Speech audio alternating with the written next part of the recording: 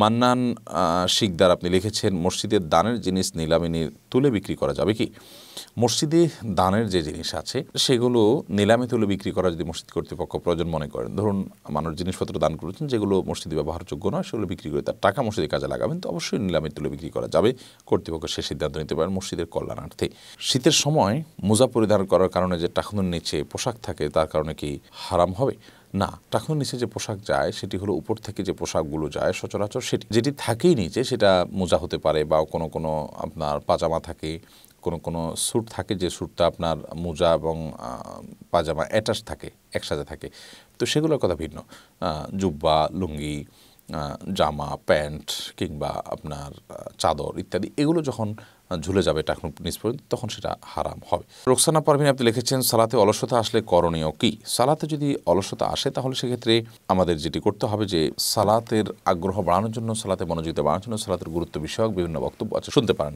এবং সে সম্পর্কিত অনেকগুলো বই আছে, সেগুলো পড়তে পারেন। এবং নেককার এবং আব্দুল সালেহ বা আল্লাহর প্রিয় বান্দা, মুত্তাকি পরেশগাদের সৌবদ এবং সান্নিধ্যে আপনি উঠতে পারেন, ওঠা বসা করতে পারেন, তাহলে ইনশা আল্লাহ বিদিল্লা সালাতের অলসতা দূর হবে বলে আশা করছি। নাজমুল হাসান আপনি লিখেছেন, কোরআন শরীফের সিজদার আয়াতের গুরুত্ব সম্পর্কে জানতে চাই। দেখুন কোরআন কারিমের বিভিন্ন জায়গায় সিজদার আয়াত আছে। মূলত এই আয়াতগুলোতে সিজদার বিষয়বস্তু আছে। ধরুন, আল্লাহ রব্বুল আলমিন কোনো আয়াতে নির্দেশ করেছেন, যেহেতু আল্লাহ তালা এত নেয়ামত দিয়ে তোমাদেরকে ধন্য করেছেন, তোমাদেরকে এত নেয়ামত দিয়ে ঢেকে রেখেছেন, বিধায় তোমরা আল্লাহর নেয়ামতের শকর আদায় করে তোমরা সিজদায় লুটিয়ে পড়ো। তো এই আয়াত যখন আমরা পড়ছি, তখন সেজদা আমরা দিচ্ছি। এরকম একটি ব্যাপার থাকে। আবার অনেক সময় দেখা যায় যে আল্লাহর কোনো নিকার বান্দা, কোনো আবেগঘন পরিবেশে, পরিস্থিতিতে তিনি সেজদা লুটিয়ে পড়েছেন, সেই বিবরণ যখন কোনো আয়াতে আমরা পাঠ করছি, তখন আমরাও সেজদা লুটিয়ে পড়ে তার সঙ্গে একাত্মতা পোষণ করছি। এ হলো সেজদার মূল বিষয়। এই সেজদা দেওয়াটা ওয়াজিব। আপনি যখন কোরআন তালাওয়াত করবেন, এই সেজদাগুলো পাঠ করবেন, তখন সেজদা দিবেন এবং ইচ্ছাকৃত এটি পরিহার করবেন না। একটি সেজদা দিবেন এবং সেখানে তিনবার তাজবি পাঠ করে আপনি উঠে যাবেন। এটি হলো সেজদার সাধারণ পদ্ধতি। সাদত হোসেন জিসান আপনি লিখেছেন, হেদায়ত পাওয়ার পর হেদায়ত ধরে রাখার উপায় কী? দয়া করে উত্তর দিবেন।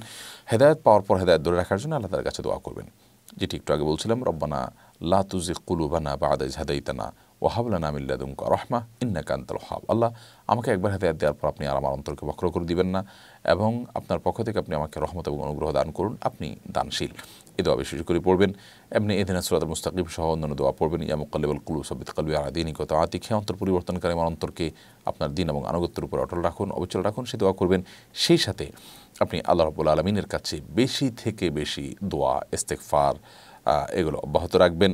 ভালো মানুষদের সংস্রবে থাকবেন, ইনশাআল্লাহ দিন আল্লাহ তালা হেদায়তপুর অটল অবচল থাকার তৌফিক দিবেন তানিয়া খান, আপনি লিখেছেন, বাথরুমে বিসমিল্লা বলা যায় না, কিন্তু যখন গোসল ফরজ হয় তখন তো বাথরুমে গোসল করতে হয়, সেক্ষেত্রে করণীয় কি? বাইরে থেকে বিসমিল্লা বলে প্রবেশ করবেন অথবা বাথরুমের ভিতরে গিয়ে যখন ওজুর মতো করে শুরু করবেন গোসল, তখন আপনি মনে মনে বিসমিল্লা বলে তারপর বাথরুমে আপনি গোসলের কার্যক্রম শুরু করবেন।